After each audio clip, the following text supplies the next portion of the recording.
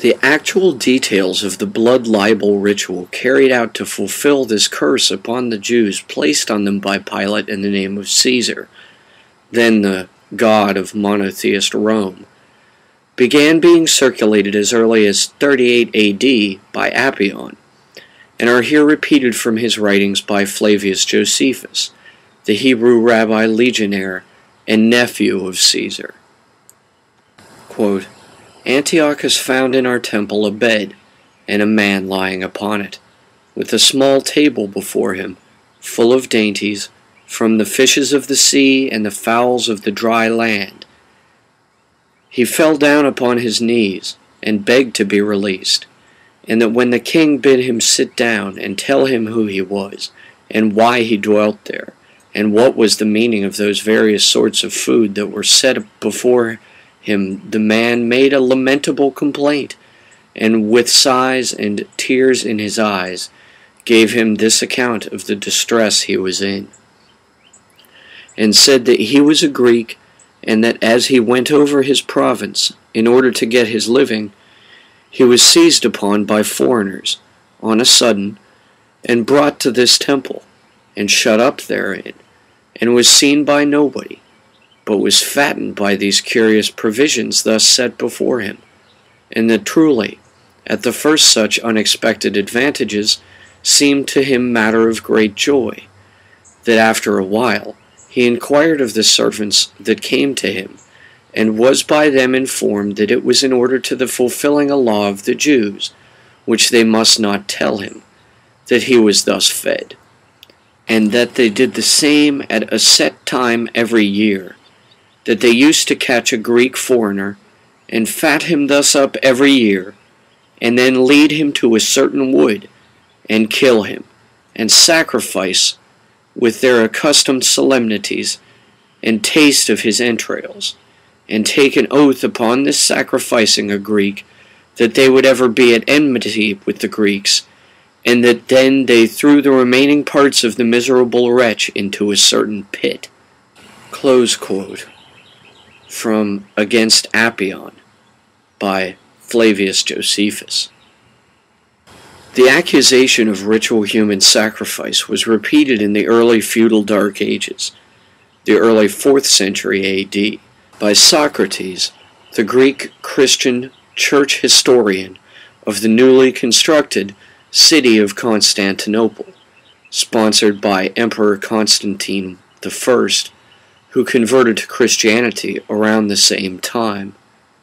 Quote, in this way they indulged in many absurdities, and at length, impelled by drunkenness, they were guilty of scoffing at Christians and even Christ himself, and in derision of the cross and those who put their trust in the crucified one, they seized a Christian boy, and having bound him to a cross, began to laugh and sneer at him but in a little while, becoming so transported with fury, they scourged the child until he died under their hands.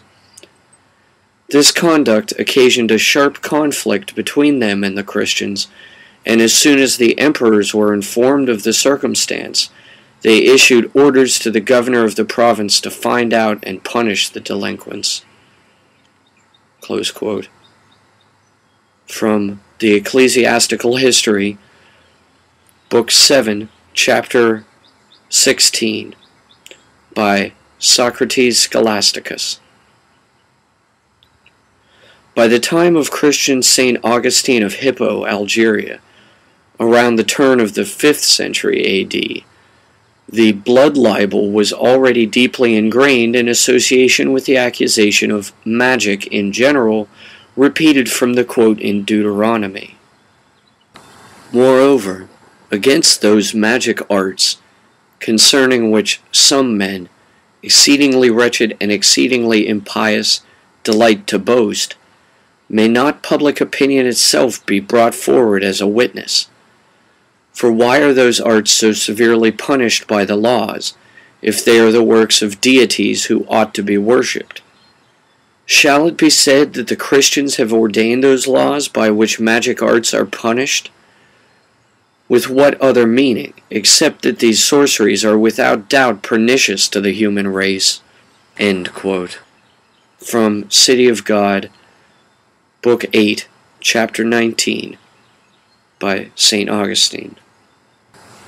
The French Pope, Innocent VI, born Etienne Aubert, issued a rejection of all allegations of the blood libel in 1247 reacting to the repetition of it by Thomas of Cambury, who said that solo sanguine Christiano, only Christian blood, had to be shed annually to cure the Jews of generational hemorrhages.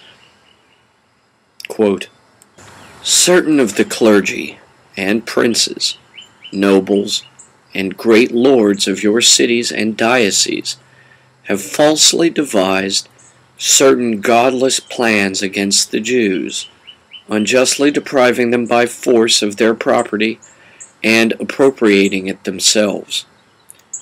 They falsely charge them with dividing up among themselves on the Passover the heart of a murdered boy. In their malice they ascribe every murder, wherever it chanced to occur, to the Jews. And on the ground of this and other fabrications, they are filled with rage against them, rob them of their possessions without any formal accusation, without confession, and without legal trial and conviction, contrary to the privileges granted to them by the Apostolic See.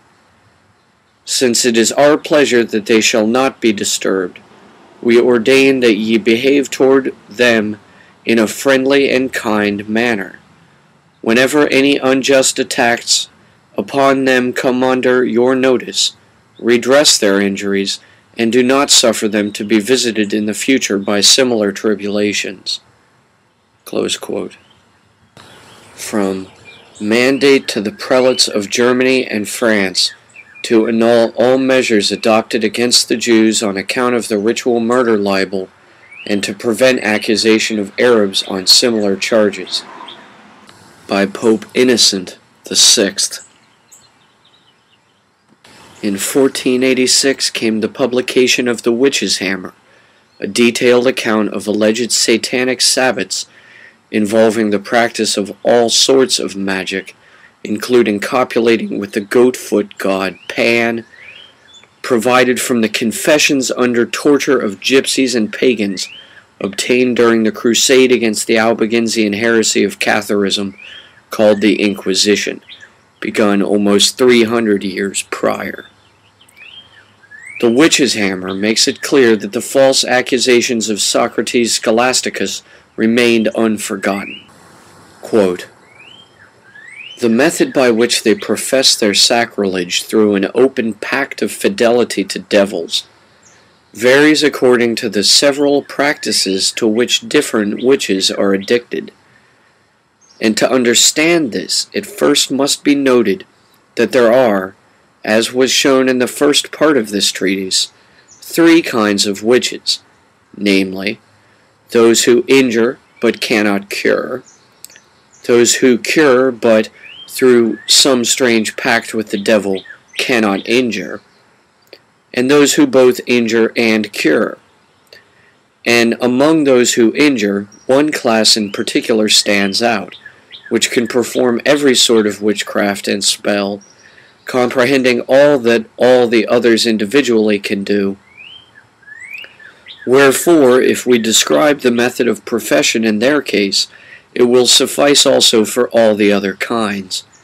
And this class is made up of those who, against every instinct of human or animal nature, are in the habit of eating and devouring the children of their own species. Close quote. From Malleus Maleficarum, Part 2, Chapter 2. Edited by James Sprenger and Henry Kramer.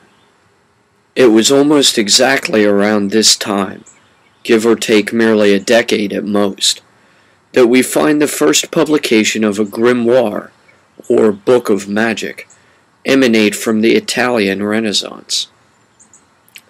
The Greater Key of King Solomon describes the attributes and images for constructing amulets that honor in Hebrew letters the seven planetary or Olympic deities. From this work, we find the following description for how to make an animal sacrifice using the blood of a bat. Quote, After this, take the needle or other convenient instrument of art, as will be said later on, and pierce the bat in the vein which is in the right wing, and collect the blood in a small vessel. From Clavicula Solomonis, Book 2, Chapter 16, edited by S. L. MacGregor Mathers. These grimoires have, for the last 500 years or so, provided the sole inspiration for the study of theoretical magic. They include theurgies and demonologies, evocations and invocations, hundreds of mathematical number squares, and countless squiggles symbolizing the signatures of hundreds or thousands of sentient spirits inhabiting limitless realms in an invisible landscape overlapping our own. Quote, Take your kid, place it on a block with the throat turned upward, so that it may be easy for you to cut it. Be ready with your knife, and cut the throat at a single stroke pronouncing the name of the spirit whom you wish to invoke. Whosoever would invoke the devil must sacrifice to him a dog, a cat, and a hen. These animals must be the property of the operator, who must also pledge himself to eternal fidelity and obedience, and must receive a special mark upon his body impressed by the devil himself. His recompense is an absolute control over three infernal spirits, respectively of earth, water, and air. From the Book of Black Magic, Chapter 2, by A. E. Waite.